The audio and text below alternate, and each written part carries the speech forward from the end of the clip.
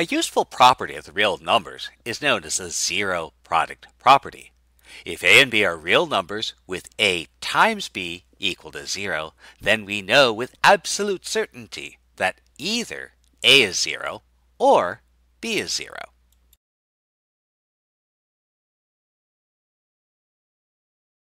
This helps us with solving equations in the following way. Suppose I want to solve an equation like x minus 5 times 3x plus 2 equals 0. Since this is a product equal to 0, we know that either x minus 5 is 0 or 3x plus 2 is equal to 0. But we can solve those separately.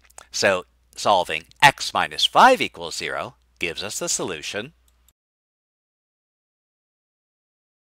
x equals 5. Solving 3x plus 2 equals 0 gives us the solution x equals minus 2 thirds. So either x is equal to 5 or x is equal to minus 2 thirds. Now it's important to remember that theorems in mathematics are power tools. And like any power tool, if you don't use it correctly, the result could be catastrophic. Well, safety instructions are for wimps, so we'll set each factor equal to 0 and solve, so x minus 2 is 0, or x minus 3 is 0, and so x equals 2, or x equals 3. But since the product is not equal to 0, these answers are completely wrong.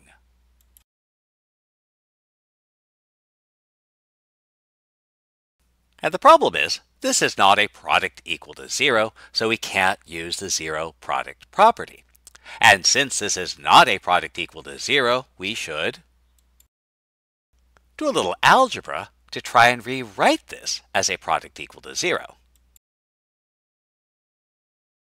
So we can expand.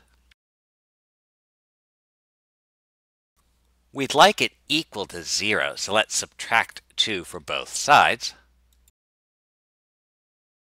We want a product equal to 0, so that requires us to factor. And now we have a product equal to 0, so one of the factors must be 0. Either x minus 4 is 0, or x minus 1 is 0. So we'll solve and get our two solutions.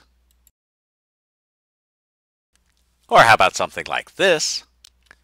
Well, a useful thing to remember is you can always use algebra to eliminate fractions.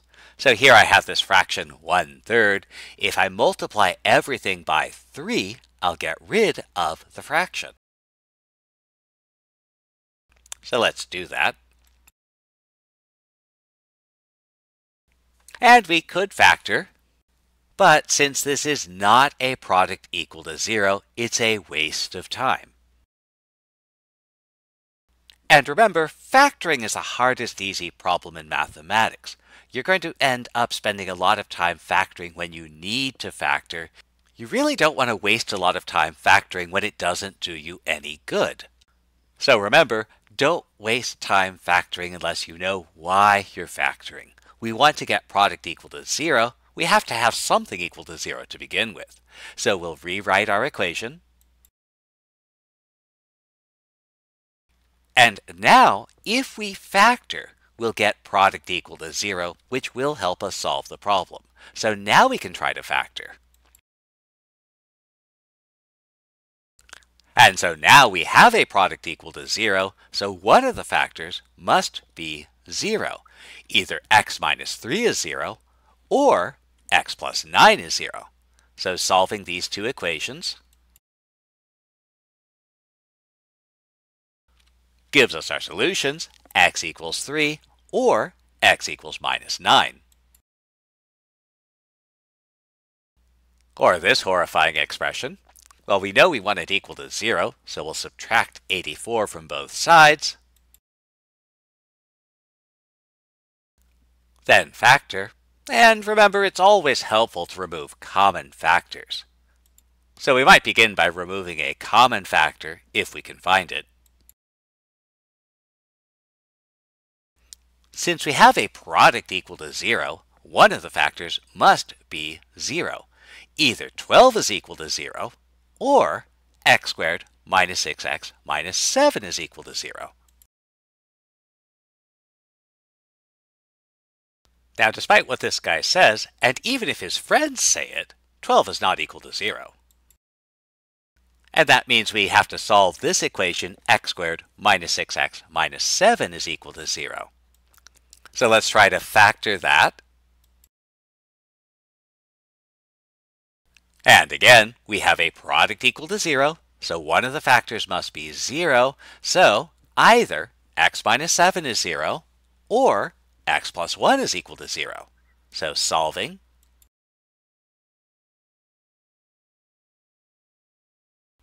gives us our two solutions, x equals 7 or x equals negative 1.